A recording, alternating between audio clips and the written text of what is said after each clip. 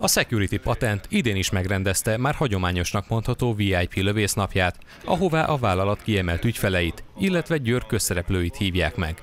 A Győr-Szentiváni lőtérre kilátogatók megismerkedhettek a céggel, egymással és kipróbálhatnak többféle lőfegyvert, mondta el Kocsis Robert, a Security Patent ügyvezetője. Most már jó, jó néhány éve rendezzük meg ezt a, ezt a patent VIP lövészetet. Ennek az a célja, hogy kicsit a, a, az ügyfeleinket összehozzuk a, a, a csapatunkkal, illetve egymás között is tudjanak beszélgetni, megbeszélni, illetve egy olyan maradandó élményt nyújtsunk. Itt azért ö, ö, nagyon komoly ö, kiképzőkkel, nagyon komoly szakemberekkel lőhetnek. Nagyon-nagyon jó visszhangja szokott lenni, és tényleg nagyon jól szokott sikerülni, és remélem idén is így fog történni ez.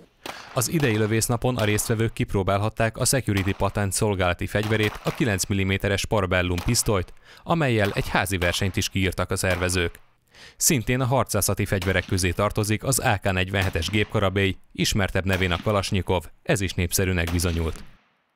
A keleti szinte minden országában gyártották az elmúlt évtizedekben, vagy 50 évben. Ez egy csehszlovák gyártmányú, aki volt katona, az ismeri a magyar az AMD AK-t, többféle variációra át lehet szerelni, puskagánát, a hangtompítósra, tehát egy nagyon jó sokoldalú fegyver. Nem maradhattak ki a programból a sportcélú fegyverek sem.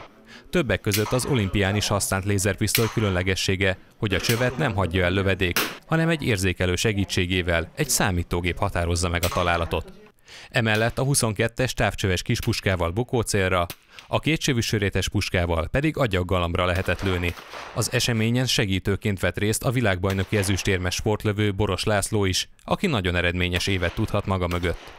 Mindenképpen ez volt eddigi legjobb évem a felnőttek között, hiszen a Stockholmi svédországi júniusban megrendezett világbajnokságon egyénében egy ezüst és egy bronzérmet tudtam szerezni, ami azért rendkívül nagy teljesítmény nekem, és igazából ezek az idei főbb eredményeim, illetve olyan verseny, amire még idén készülünk, az, az itt Győrben megrendezésre kerülő karácsonykupa, amit majd decemberben tartunk meg nyilván.